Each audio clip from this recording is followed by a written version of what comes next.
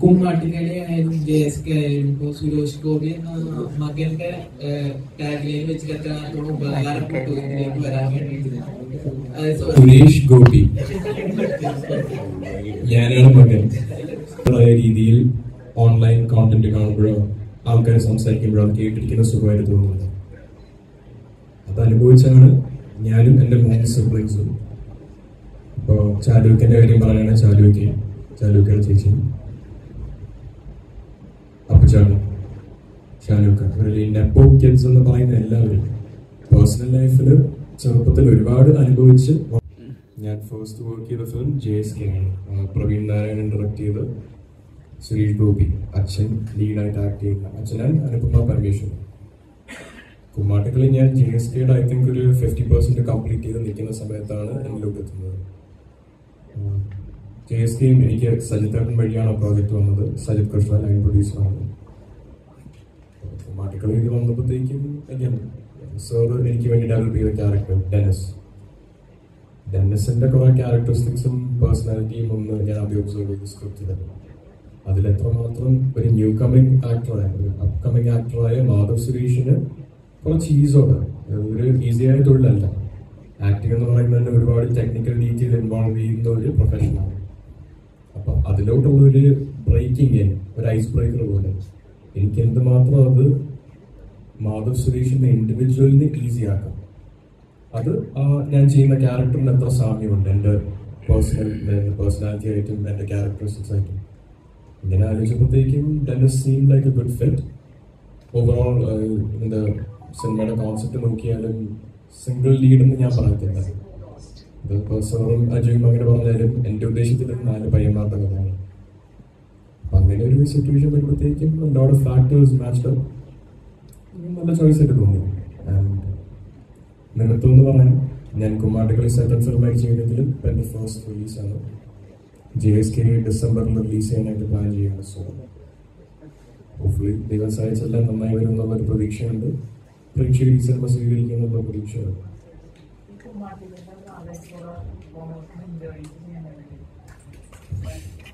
സുരേഷ് ഗോപിയുടെ മകൻ ഉപരി ഇപ്പോ ജൂനിയർ പൃഥ്വിരാജ് എന്ന ടാഗ്ലൈനും കൂടി കിട്ടിയിട്ടുണ്ട്. കമന്റ്സിലും അങ്ങനെയാണ് നോക്കി എങ്ങനെയാണ് ഇതിനെ നോക്കി കാണുന്നത്?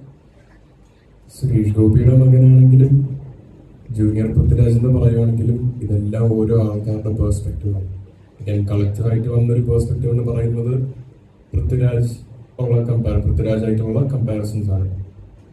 രാജുവേട്ടനെ പറ്റി പറയുകയാണെങ്കിൽ ഹീസ് എ ലെജൻഡ് ഓഫ് ആ ജനറേഷൻ അങ്ങനെ ഒരു വ്യക്തിയായിട്ട് എന്നെ കമ്പയർ ചെയ്യുവാണെങ്കിൽ തീർച്ചയായിട്ടും എനിക്ക് അഭിമാനമുള്ള ഒരു കാര്യമാണ്. Do I believe I'm Prithviraj I'm like Prithviraj or the I'm like Suresh Gopi I'm Madhav Suresh ഞാൻ എന്റെ ഐഡന്റിറ്റി ക്രിയേറ്റ് ചെയ്യുവാണ്. അതേപോലെ ആൾക്കാർക്ക് എന്റെ പേഴ്സണാലിറ്റിയും അവരുടെ പേഴ്സണാലിറ്റി തമ്മിൽ എന്തെങ്കിലും സിമിലാരിറ്റീസ് തോന്നുന്നെങ്കിൽ അവരുടെ പേഴ്സ്പെക്റ്റീവ് മാത്രമാണ്. സോ അതിൽ കൂടുതലൊരു അഭിപ്രായം ഞാനെ പറ്റി ഒരുപാട് നോക്കാറില്ല. ഇപ്പോൾ എന്റെ ഫ്രണ്ട്സ് ആരെങ്കിലും ഇങ്ങനെ പോയിന്റ് ഔട്ട് ചെയ്യുന്ന കമന്റ്സ് വല്ല എടുത്ത് അയച്ചു തന്നു കഴിഞ്ഞാൽ എന്റെ എനിക്കൊരു സ്വഭാവമുണ്ട്. ശരിക്കും പറഞ്ഞാൽ എന്റെ ഒരു തെറ്റ് സ്വഭാവം തന്നെയാണ്. ഒരു പരിധി കൂടുതൽ അനാവശ്യമായിട്ടുള്ള കമന്റ്സ് വന്നു കഴിഞ്ഞാൽ അതിന് ഞാൻ എന്റെ സമയം വേസ്റ്റ് ചെയ്ത് റെസ്പോൺസ് കൊടുക്കുന്നെങ്കിൽ സോ അങ്ങനെ ചില കമന്റ്സ് ഞാൻ കാണാറുണ്ട്. ബട്ട് അതല്ലാതെ ഇരുന്ന് കമന്റ് തപ്പി കണ്ടുപിടിച്ച് അത് കണ്ട് ഒരുപാട് വിഷമമോ സന്തോഷമോ ഈ ഒരു സ്റ്റേജിൽ ഞാൻ അനുഭവിക്കുന്ന ആളല്ല സോ മാഡം നമ്മൾ ചെയ്യുന്ന എന്നും ആളുകൾ ഓർത്തിരിക്കുക എന്ന് പറയുന്നത് ഒരു വലിയ കാര്യമാണ്. കാരണം സുരേഷ് സുരേഷാണ് ചെയ്ത ഒരുപാട് കഥാപാത്രങ്ങൾ നമ്മളൊന്ന് ഓർത്തിരിക്കുന്നത് അപ്പൊ അച്ഛൻ നൽകിയൊരു ഉപദേശമാണ് ഒരു സിനിമ ചൂസ് ചെയ്യുമ്പോൾ നമ്മൾ ചെയ്ത ചൂസ് ചെയ്യുന്ന കഥാപാത്രങ്ങൾ എത്രത്തോളം ഉപദേശം ഉണ്ടല്ലോ. ഏതൊരു അച്ഛനും ഒരു മകന് കൊടുക്കുന്ന ഉപദേശം മാത്രമേ എനിക്ക് അച്ഛൻ തന്നിട്ടുള്ളൂ. സുരേഷ് ഗോപി എന്ന ആക്ടറിന്റെ കയ്യിൽ നിന്ന് എനിക്ക് ഒരു അഡ്വൈസും കിട്ടിയിട്ടില്ല. സോ again എന്റെ കരിയറിന്റെ കാര്യം ചോദിക്കുകയാണെങ്കിലോ ഈ ആക്ടിങ് എന്ന പ്രൊഫഷനെ പറ്റി ചോദിക്കുകയാണെങ്കിലോ ഞാൻ കൂടുതൽ കേട്ടറിഞ്ഞോ കണ്ടറിഞ്ഞോ പഠിച്ചിട്ടുള്ളത് എന്റെ ചേട്ടന്റെ നിന്നാണ് അച്ഛന്റെ സൈഡിൽ നിന്ന് അങ്ങനെ ഒരു അഡ്വൈസോ ഒന്നും വന്നിട്ടില്ല. എന്റെ ചേട്ടൻ കുറച്ചും കൂടെ ഹാൻഡ്സ് ആണ് നയൻ പ്ലസ് ഇയേഴ്സ് ആയിട്ട് മലയാളം സിനിമ ഇൻഡസ്ട്രിയിൽ വർക്ക് ചെയ്യുന്ന ആളാണ് ഗൂഗിൾ ഞാൻ കുറേ കൂടെ സിനിമയെ പറ്റി സംസാരിക്കാറുണ്ട്. ഫീഡ്ബാക്ക് എനിക്ക് ടേക്ക് അച്ഛന്റെ സൈഡിൽ നിന്ന് അങ്ങനെ ഒരു സ്പെസിഫിക് അഡ്വൈസ് വന്നിട്ടില്ല. ഹലോ ഹായ് ഇവിടെ ഇവിടെ. അതെ നമ്മുടെ ഈ സിനിമയിൽ മാധവന്റെ പേര് ഡെന്നിസ് എന്നാണ്. അതുപോലെ നമ്മുടെ സമ്മർ സുരേഷ് ഗോപി സാറിന്റെ പേരും ഡെന്നിസ് എന്നാണ്. അപ്പൊ ഇതൊരു കോയിൻസിഡൻസ് ആയിട്ട് തോന്നുന്നു ഡയലോഗാണ് സുരേഷ് ഒരു മേലെ ഡയലോഗുകൾ ഉപയോഗിച്ചിട്ടുണ്ട്. അപ്പൊ ഗോകുലിന്റെ ശരി സുരേഷ് ഏട്ടന്റെ ചില ഡയലോഗുകൾ എപ്പോഴും ഇമിറ്റേറ്റ് ചെയ്യുന്ന കാണാറുണ്ട് ലാസ്റ്റ് ഗേനജാരി പോലും അങ്ങനെ ഫീൽ ചെയ്തിരുന്നു അപ്പം എന്തുകൊണ്ടാണ് അങ്ങനെ ഒരു സ്ക്രിപ്റ്റ് ഉണ്ടായിരുന്നതാണോ? അതോ സ്വന്തമായിട്ട് ഇങ്ങനെ ഒരു ഇത് പറയാം. ഗഗനചാരിയിൽ അങ്ങനെ ഒരു ഡയലോഗ് വന്നതായിട്ട് എനിക്ക് ഉണ്ടായിരുന്നു? ഓക്കെ സോറി ഞാനപ്പോൾ അത്രയും ശ്രദ്ധിച്ചിട്ടില്ല. സോറി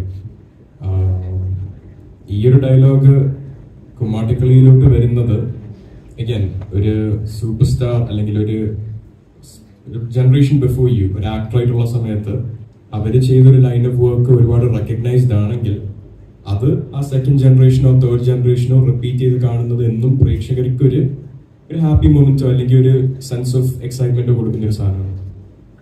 കുമ്മാട്ടിക്കളിയിലെ സ്ക്രിപ്റ്റിൽ ഇങ്ങനെ ഒരു സാധനം ഇല്ലായിരുന്നു. പക്ഷെ ഞാൻ ഐ സിനിമ കണ്ടിട്ടുള്ള ഒരാളാണ്. ആ ഡയലോഗ് അത്യാവശ്യം ഫേമസ് ആയ ഡയലോഗാണ് ആൻഡ് ആ അസീസക്ക ആണ് അവിടെ ചോദിക്കുന്നത് ട്രെയിലറിൽ വന്നിട്ടുള്ള. ആ ചോദ്യം ചോദിച്ചതിന് റൊമാൻസ് അല്ല എന്ന് പറഞ്ഞു കഴിയുമ്പോൾ പിന്നെ എന്നൊരു ചോദ്യം വന്നാൽ അപ്പൊ ആപ്റ്റായിട്ട് തോന്നിയിരിക്കാം അവിടെ. അതുക്കും മേലെ എന്ന് പറയാനായിട്ടുള്ളത് ആപ്റ്റായിട്ട് തോന്നി. തമിഴ് ഒരുപാട് ഇതിന്റെ ക്യാരക്ടർ പറയുകയാണെങ്കിൽ തമിഴിന് ഒരു പ്രാധാന്യം കൊടുത്തിട്ടുള്ള മലയാളം സിനിമ തന്നെയാണ് കുമ്മാട്ടികൾ സോ അതുക്കും മേലെ എന്നുള്ളൊരു തമിഴ് ഡയലോഗും ഈ സുരേഷ് ഗോപി റിസംബ്ലൻസും അതിന് വരും. And also more than anything it make sense ആ ഒരു സീനിൽ ഒരുപാട് സെൻസ് ഉണ്ടാക്കി. സെൻസ് ഉണ്ടാക്കിയില്ലായിരുന്നെങ്കിൽ ഇത്ര ഒരു കണക്ട് ആ ഡയലോഗിന് വരത്തില്ല പറഞ്ഞത്. സോ ഐ ഗസ് സ്ക്രിപ്റ്റിലില്ലാത്തതായിരുന്നു കയ്യിൽ നിന്ന് വന്നതാണ് ചെയ്തപ്പോൾ സാറിന് അത് ഇഷ്ടപ്പെട്ടു. സോ അത് സിനിമയിലോട്ട് വന്നു. ഡയറക്ടർ സാറിന്റെ ഫിലിമോഗ്രഫി നോക്കുമ്പോൾ രണ്ട് വട്ടം വിജയ് സാറിന്റെ പടം ചെയ്തത്. അപ്പൊ മലയാളത്തിലൊരു വിജയിനെ സമ്മാനിക്കാനാണോ അതോ ഇത് ഈ ഇത് പറയുമ്പോൾ തന്നെ പേടി പേടിയുണ്ടായിരുന്നു. കാരണം രണ്ടു വട്ടം വിജയ് വെച്ച് പടം ചെയ്ത ഒരു ഡയറക്ടർ ഇങ്ങനെ വന്നൊരു ഈ ഒരു ഇത് പറയുമ്പോൾ എങ്ങനെ ഉണ്ടായിരുന്നു? രണ്ടു വട്ടം വിജയനെ വെച്ച് ഡയറക്ട് മാത്രമല്ല ഗോട്ടിന് മുന്നേ വിജയനെ നെഗറ്റീവ് ഷെയ്ഡിൽ ഒരേ ഒരു തവണ കരിയറിൽ കണ്ടിട്ടുള്ളത് സർ ഡയറക്ട് ചെയ്തതാണ്. ആൻഡ് പുതിയൊരു വിജയനെ സമ്മാനിക്കുക ഞാൻ നേരത്തെ പറഞ്ഞ പോലെ പുതിയ പൃഥ്വിരാജിനെ സമ്മാനിക്കുക പുതിയ സുരേഷ് ഗോപിയെ സമ്മാനിക്കുക. ഞാൻ മാധവ് സുരേഷാണ്. ഞാൻ മാധവ് സുരേഷായിട്ട് വളർന്നോട്ടെ. ബാക്കി വഴി വെച്ച് നമുക്ക് കണ്ടറിയാം.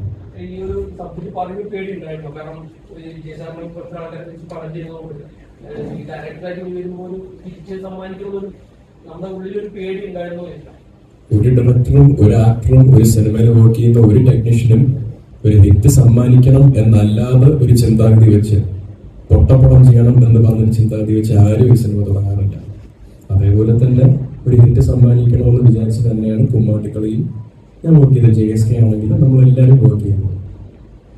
സോ ഞാൻ നേരത്തെ പറഞ്ഞതുപോലെ ഇത് ഹിറ്റാവോ ആൾക്കാർ കാണുമോ ഇതെല്ലാം തീരുമാനിക്കേണ്ടത് പ്രേക്ഷകർ തന്നെയാണ്.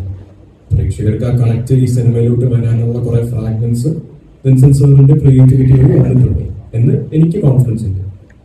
അത് പ്രേക്ഷകരിലോട്ട് ട്രാൻസ്ഫർ ചെയ്ത് കഴിഞ്ഞാൽ ആൾക്കാർ ഒരു പരിധി കൂടുതൽ തിയേറ്ററിൽ കയറി കണ്ടു കഴിഞ്ഞാൽ ഈ സിനിമ വിജയിക്കും. അല്ലാതെ നമ്മൾ ചെയ്യേണ്ട പണി നമ്മൾ ചെയ്തു കഴിഞ്ഞു ബാക്കി ഇനി പ്രേക്ഷകരുടെ റിസപ്ഷൻ പോലെയായിരിക്കും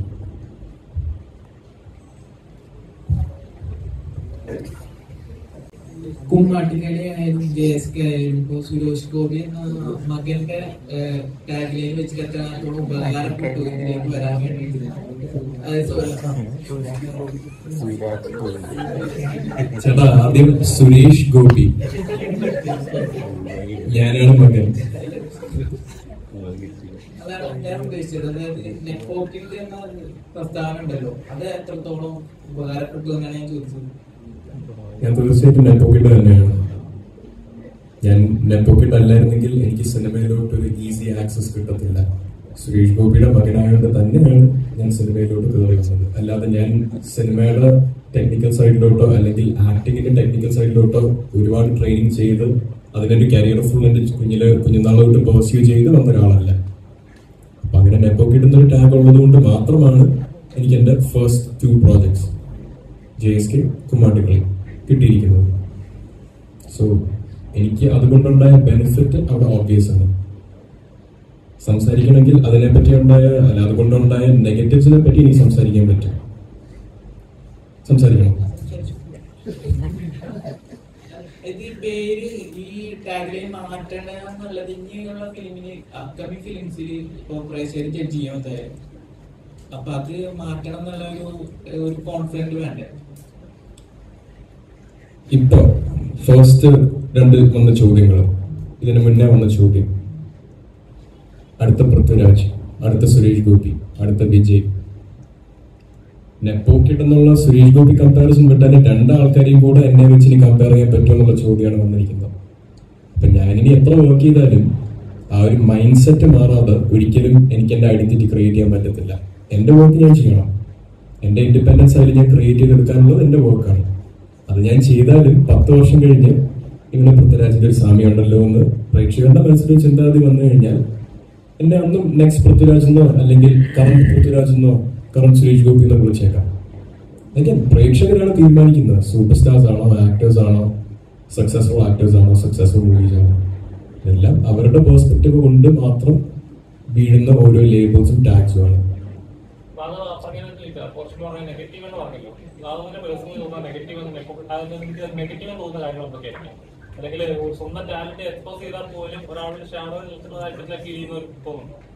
ഞാൻ ആ സെൻസിലല്ലായിരുന്നു പറഞ്ഞത്.